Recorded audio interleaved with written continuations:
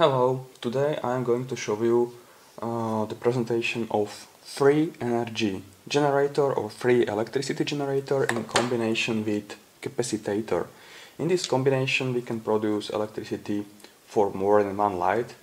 Uh, in my previous videos I have already explained how this free energy or electricity generator works, so today I will not spend the time for it. This capacitor will be used to enhance the electricity and voltage of the produced electricity. I will use for this presentation this LED bulb.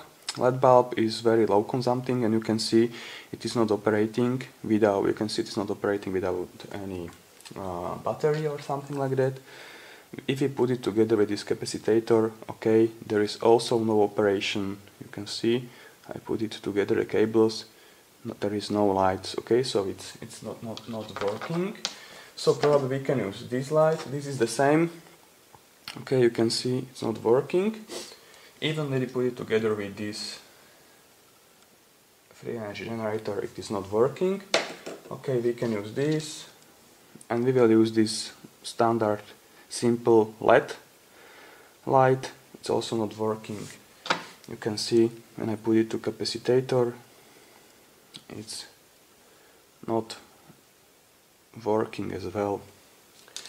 So maybe we can start with the presentation. So I will connect together all the all the wires so then we can so that we can we can try to do it. Okay, so this is connected. It will take some time. Please wait for a moment.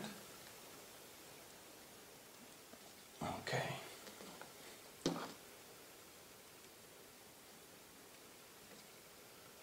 So we are connecting wires.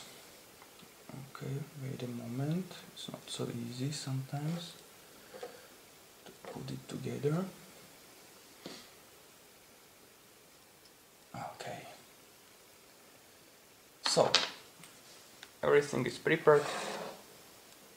It's connected.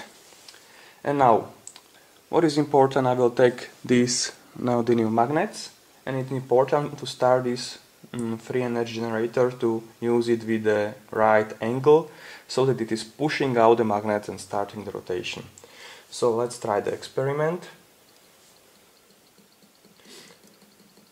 Okay you can see it's very important to use the right angle because then if you don't use the right angle it's, it's slowing down.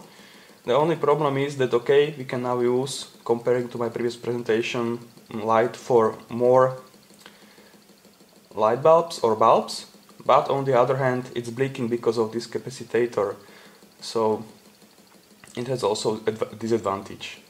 Okay, this is all for today. Thanks for your attention.